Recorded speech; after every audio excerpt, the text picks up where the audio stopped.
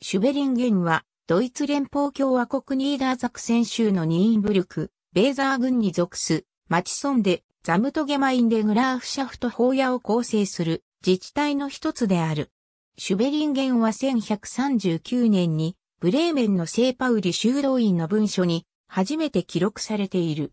この記録には、ホルトルプとシュベリンゲンは、砂地の不毛な土地と肥沃な湿地がある古い入植地であると記述されている。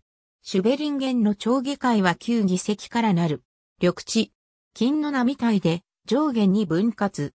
上部は金の車輪とその両側に金の多くの葉。下部は頂部にライトをつけたファーブートナ金。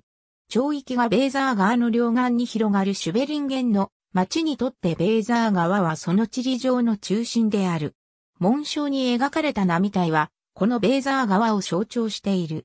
一世紀以上前の資料にも、その記述が見られ、現在も運行しているベーザー川を渡るフェリーが、紋章のもう一つの一章である。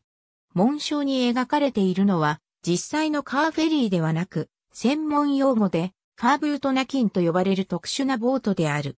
車輪はこの町の主要産業である農業を示す。車輪は、この他に紡ぎ車など輪を使う手工業や貿易、商業、交通を象徴するものである。シュベリンゲンの公共施設には、地元の芸術家、ゴットリープ・ポット・ドアの作品が合わせて7つある。これらの作品は、第二次世界大戦後から1977年の間に創作されたものである。この町には、ミッテルベーザー地方で最後のフェリーが運行している。このフェリーは、西岸の中心集落と東岸とを結んでいる。東岸側の最寄りの集落はガンデスベルゲンである。